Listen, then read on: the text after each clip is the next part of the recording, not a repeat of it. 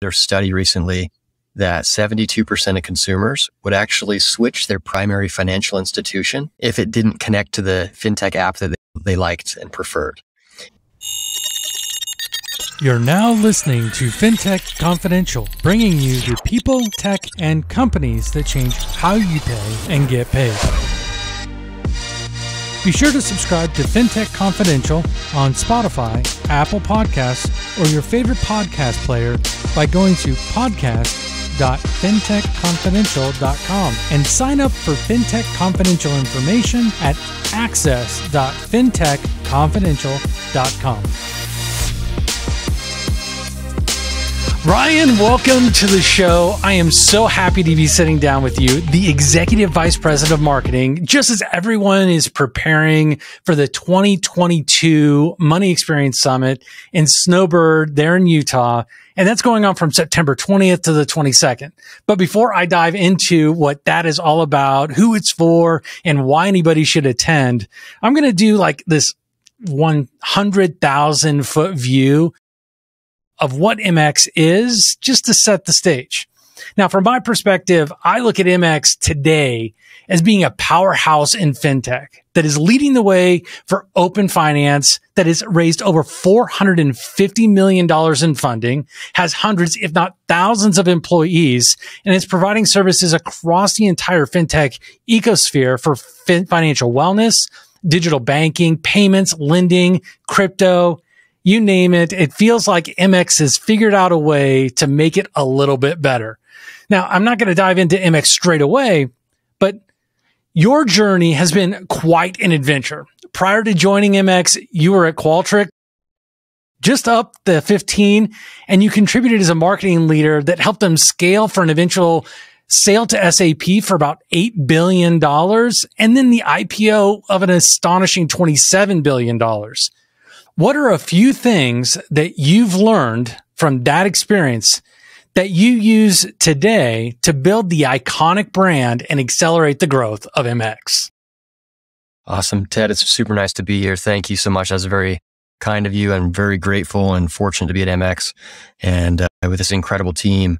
Yeah, as a at Qualtrics, I started as the first product marketer there. And so I had an opportunity back in 2013 to help with the messaging and positioning and kind of the category creation of what became experience management. And that really helped me understand the power of experiences. And it's the Money Experience Summit. Experiences throughout that journey has been part of my career where experiences matter, whether it's your digital experiences or the in-person experiences that you have. Certainly excited to pull that and bring it to life here in September.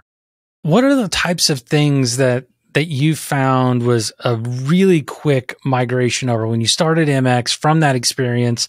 How are you leveraging those things to really build up the brand for MX and really provide that experience? How are you bridging the gap and bringing those learnings from that customer experience side over to the financial fintech side of the house? Yeah, as you think about your financial journey as a consumer, you have lots of financial apps. You probably have several bank accounts, several loans in different places. And that can, that experience, there's a lot of friction in that. And so MX, we are sitting at the center of that, of connecting the financial ecosystem through secure APIs and infrastructure that allows you as a consumer to be able to have a connected financial experience. That's a powerful thing when the number one cause of stress in America is, is finances. A leading cause of divorce is finances. MX is the most mission driven company I've ever been a part of. Really empowering the world to be financially strong is what we're all about. And we are a B2B company. So we serve banks and credit unions and fintechs, but uh, we think about things from a B2C standpoint where we really are trying to empower that consumer. It's so funny you mentioned about the the divorce rate around finances. And really, if you look at MX, it, it started with humble beginnings with a marriage of two ideas from two different guys together to deliver what MX is doing today. Tell me about what the catalyst was for Ryan and Brandon to even start MX back in 2010 awesome story. Two founders uh, back in the day, one in Utah, one in Illinois, and they were working on the same problem uh, to really democratize financial data and make it usable uh, through personal financial management tools. And uh, as they were working on those things, realized that they were both working on something similar. They met up and uh, crazy story. Brandon DeWitt, who's my favorite person I've ever met on this earth, uh, flew out to, to Utah and met with Ryan Caldwell and they started brainstorming whiteboarding and crazy story, but they had a flight that evening. They were, you know, eight hours, 10 hours in and Brandon looked it over at his co-founder and said, you know, I think I'm just going to stay here. And so that his friend and buddy who started the company with him was like, well, what do you mean? Like you'll fly out back tomorrow or like, do you want me to move the flights? What do you want to do? And he's like, no, I think I'm just going to stay here and build oh, with Ryan wow. Caldwell. And so he didn't actually go back. He, we had somebody, uh, at the time, they had somebody go out and get his things at his apartment and bring them back to Utah. And he, uh, stayed and built, uh, with Ryan and, and stayed in Ryan's basement and from there, it was this incredible journey of building incredible company. But, uh, and yeah, and just amazing, amazing, uh, founders. So with that amazing founder story, how would you describe where MX is at today in the marketplace? As you think about the evolution of personal financial management, to do that well, you have to have really good quality data. And so if you kind of go upstream from doing that really well, it's the quality of data and, and ultimately getting access to that data. And so if you think about the journey of MX, uh, we kind of do three things. We, uh, there's kind of three pillars, if you will, connectivity, data, and experiences. And so as you go upstream from data up into connectivity, we're helping connect that financial ecosystem through secure APIs and tokenized connections. And as we're able to do that, we're able to go drive better experiences for our, our customers, the banks, credit unions, or fintechs with their data, which then enables them to go deliver the experiences they want to go do. And so it's been an evolution from sort of PFM back in the, you know, several years ago up into sort of connecting the ecosystem personal financial management software has taken such a journey um, from from back in the day to where it is today. Now I'm going to ask you to put on put on your future lenses on your, you know, on, you don't have glasses, but if you did have glasses, I'd ask you to, to put those glasses on. But where do you see the MX mission and vision take us to in the future? So our mission is to empower the world to be financially strong. And our vision is very, very clear at MX that we want to go and make data accessible and actionable for all. As we think about these different horizons that we're going to go and, and, build, we feel like embedded banking is really uh, on that horizon that we're building into with a path of API banking and everything running through APIs. And so as we think about this journey of uh, a connected ecosystem and getting the infrastructure in place to make sure that this uh, financial world flows like we all want it to do, all the way down to the journey of several years out where everything's embedded and everything is uh, that experience that you really expect similar to what you have with Netflix or Amazon or Spotify and all those things embedded. You mentioned a bunch of really big names and you've talked about a number of different ways that you're bringing that to life around not only the personal financial management side of the house, but just the overarching data management layer, whether it be through APIs or through the user experience or just connecting things together so that people don't have to work through that. Now, the companies list of customers and partners. I started doing the research a little bit deeper. I knew a little bit about MX, but I started to really dive in. The list is impressive and extremely broad. Like lots of household names like H&R Block, MetLife. I think I found USAA somewhere in there. I, I could be making that one up on my own, but also some not so well known companies like Everywhere, Fiserv, and, and even Move. Tell me about what the perfect customer looks like for MX. MX was founded in 2010 and started with banks and credit unions and building those relationships. Uh, think of the sort of the mid-sized bank or the the credit union that really needed a tech player to help them compete with some of the big the big players, and that's kind of the sweet spot of where MX started. Over the last four or five years, MX has really moved into the fintech space as well to go connect banks and credit unions with fintechs. We did our study recently that 72% of consumers would actually switch their primary financial institution. Oh, wow. If it didn't connect to the fintech app that they liked and preferred. So think about this. If, it, if you're using a, a, Betterment or, and it's your favorite app. Yeah. If US Bank didn't connect to, to Betterment, they'd be switching that to a different provider or whatever bank that you're using. Uh, locally. And so it's super, super critical for consumers to be able to have that connected experience. Um, and so we've seen that over the last several years where we've uh, started to um, build relationships and uh, serve uh, hundreds of fintechs, which has been great. So, I mean, we, we've you touched on banks, you touched on generically some fintech stuff in there, and I, am blown away by by the percentage of people who are willing to switch their financial institution if their current one doesn't offer the functionality that they're looking for. Can you give us some ideas to the types of financial apps that you've worked in or MX is connected with? I should say, not worked in, but connected with. Um, that that would be something that we may not may not think of off the top of our head. So if you heard of a company called FormFree, uh, they're a great partner um, and great friends of MX. And uh, one of the challenges actually in 2020 their exp- users were experiencing really long connection times um, and really dealing with some multi-factor authentication issues.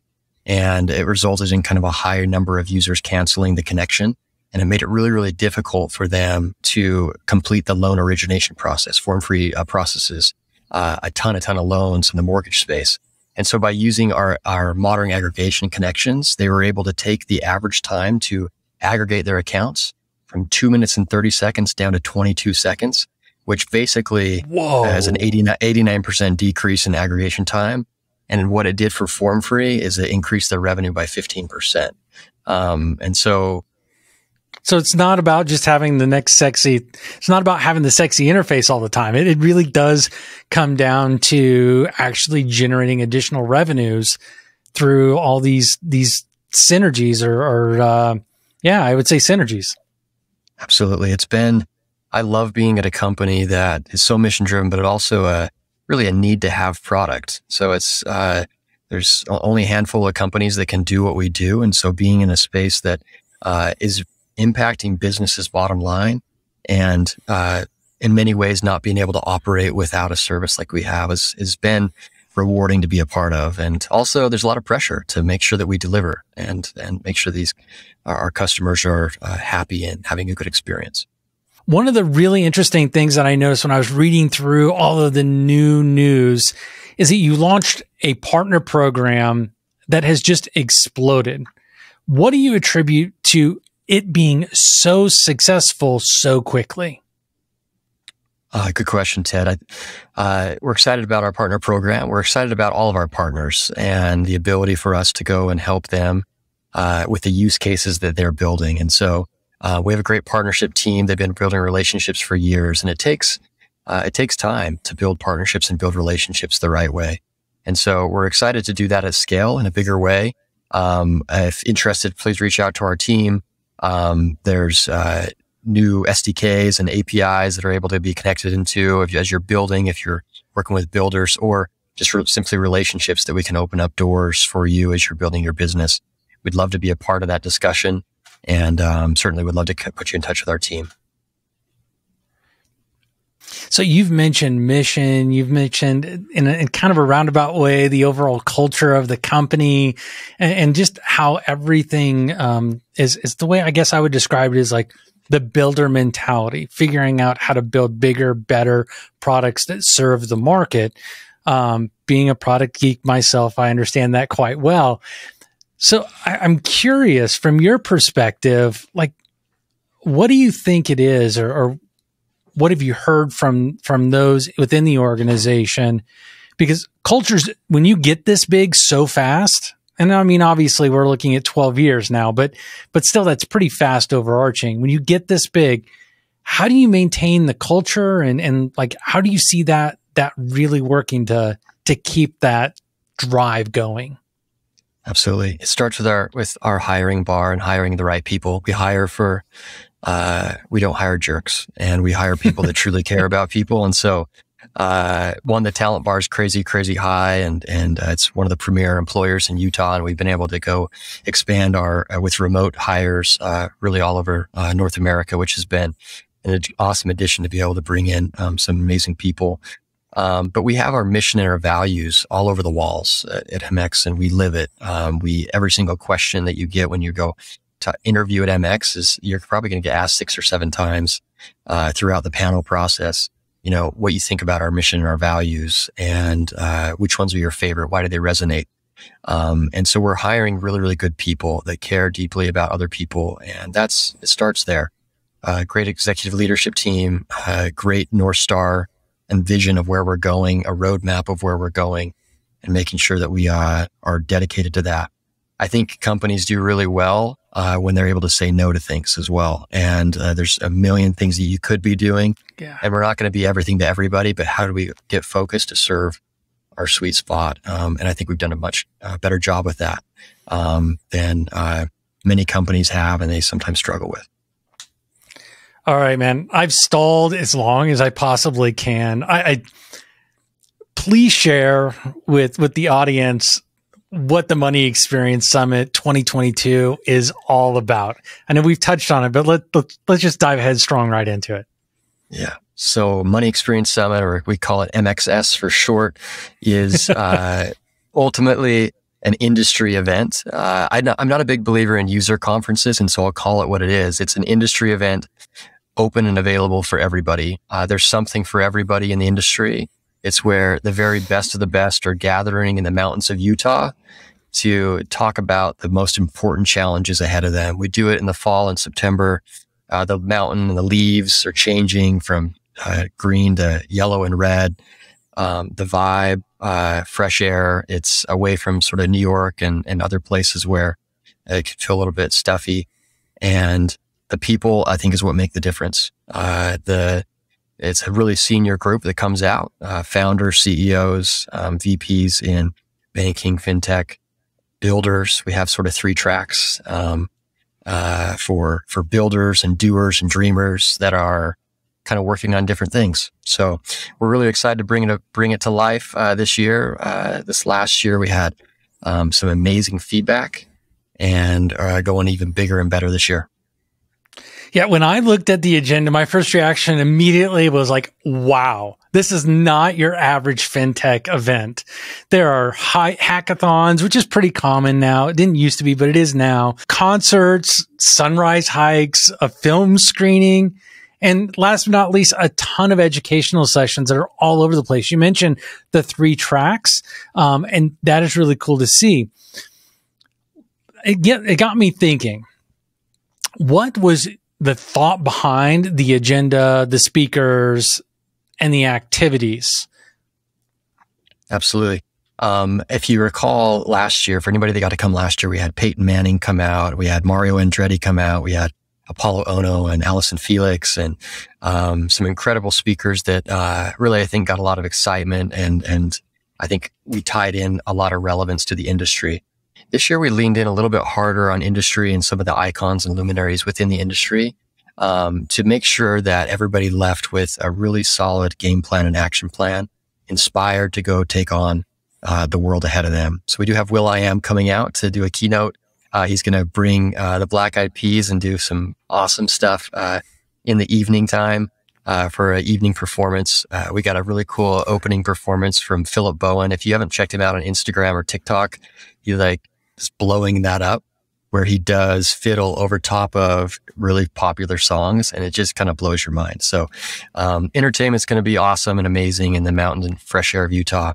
But, uh, as I think about the agenda, one, we want to bring people together to solve problems. We want to bring people together to help them accelerate their roadmap, accelerate, uh, the opportunities in front of them. And so if you can take two days, two and a half days, leave renewed, ready to go conquer the world, but also uh, have a sounding board of your peers that can just answer questions that maybe things that they've already been through. And if you can leave two and a half days later with uh, a playbook and a roadmap, and I think we've done a really good job. And so that's our game plan. Coffee, mountainside coffee chats, fireside chats. We actually have something called Riff on a Lift that we're actually going to put uh, individuals a little bit of a sign up, and they'll be able to get on a ski lift ride to the top of the ski lift, talk and shop on what's going on uh, in in their world at their companies, and then they'll get on the alpine slide and kind of take the alpine slide down and kind of make it fun. That arrives right at the at the base of the mountain where uh, the opening reception is going to be, um, with food and music, and uh, we're doing sort of an Oktoberfest style um, uh, for uh, Snowbird, which is kind of famous for that. So it'll be it's a huge celebration and party, but there's so much learning and so much uh, uh, wisdom being shared that um, it's something I just really hope people don't miss. You're speaking to my German heritage by calling it Oktoberfest. So even more excited than before. Your attendee list, I, I dove into it, looked at it. There's, it's a who's who's names of companies, but I don't feel like that tells the whole story. It doesn't really, to me, it doesn't really tell the st- whole story to who's attending and, and why they're attending. Could you expand on, on who and why they're attending? Yeah, absolutely. So you have everybody from founders and CEOs of fintech companies that are coming to meet in uh, founder forums and discussions, kind of talking peer to peer in uh, what's working for them, what's not, market trends, market dynamics, what's slowing, what's what's accelerating, um, what are they missing, where are their blind spots. So there's all those discussions happening on the mountain. You then have uh, those that are sort of VPs or chief digital experience officers who are thinking about the entire customer journey within that financial ecosystem? Where are the friction points in that journey? And what can they do, do to co-create a uh, more seamless experience? You also have uh, chief, uh, uh, you also have chief data officers that are here uh, talking about data and the value of data and the, the ability to go make data actionable. Um, we have CMOs uh, that are talking marketing strategy and taking insights uh, to uh, go deliver better campaigns and more relevant offers uh, to their their uh, members and users.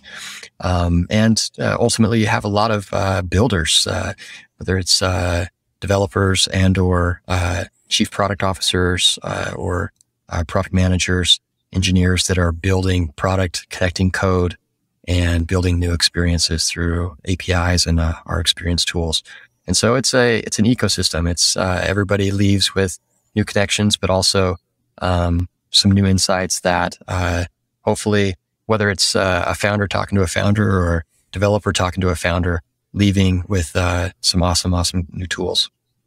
No, that's that is fantastic. You know, in my mind, as you're talking about this, all I can do is I can see two guys coming together, whiteboarding a little bit or writing it down on notepads and and eventually doing something similar to what happened with MX, where where two guys come together with with similar ideas and and make something really big of it. I can totally see that happening at one of these summits.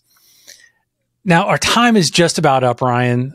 But before we go, is there anything that that maybe I haven't asked about that you just you just got to talk about? Good question. Yeah, I think as we think about uh, being a part of MX, uh, MX truly, uh, what I loved about coming to MX is it was a company that is truly looking out on behalf of, of the ecosystem and truly wants to do good. Um, our, our co-founder, Brandon DeWitt, um, he passed away a year ago from a five, five year battle of cancer. And I think he left a lasting mark that at the end of the day, revenue, doing things for the, you know, taking shortcuts is not, is not worth it. Uh, it's what are you going to go do to, to leave a legacy? And how do we go leave a legacy in this industry of building for 10, 20, 30, 50 years out? That the infrastructure in place that we're doing now is going to be robust enough, enterprise grade enough, secure enough to go have thousands and millions of, of developers build on top of our platform and doing it right, uh, treating our customers the right way, making sure that they um, are uh, having an experience that we would expect uh, them to have is really kind of where we're really focused and um, proud to be a part of this company, I guess is what I'd say. So. If they want to learn more about you, the summit, and MX, what is the best way to connect with someone? Absolutely. Uh, mx.com is our, our website. If you want to go to the summit, uh, mx.com slash summit, we'll have everything you need for you there to get registered and feel free to connect on LinkedIn, whatever we can do to uh, help uh, make sure you have what you need. Thanks, Ryan. I'm going to go ahead and put all of that in the show notes and the description. So if, if you're reading or listening or watching this, you'll be able to click on the link and take you straight to both mx.com as well as mx.com forward slash summit to learn more. Ryan, this has been a lot of fun and I am super excited to attend. I can't wait to interview some of the speakers and be part of the MX magic at Snowbird. Thank you, Ted. It's been a lot of fun. I really get appreciate getting to know you as well. Thanks for sitting down and sharing with us your story as well as MX. Thanks, Ted.